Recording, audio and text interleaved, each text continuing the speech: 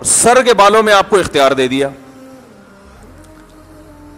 भाई छोटे भी रख सकते हो बढ़ा भी सकते हो, पट्टे वाले बाल भी रख सकते हो, इजाज़त है। टिंड भी करा सकते हो, अगर बालों का संभालना मुश्किल हो रहा है। टिंड करा लो, तुम्हारा अपना सर है। जैसे चाहो चलो।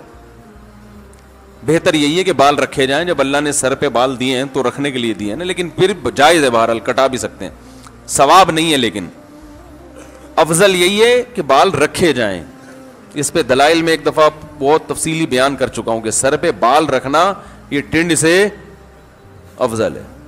इसके दलाइल क्या है या फिर किसी और वक्त इस पे रिपोर्ट पेश करेंगे इंशाला इसके अलावा जहाँ जो वो बाल, जहाँ गंदगी हो सकती है, उनको रखने को इस्लाम ने हराम करार दे दिया। बगलों के बाल, जेरनाफ बाल, यहाँ गंदगी हो सकती है।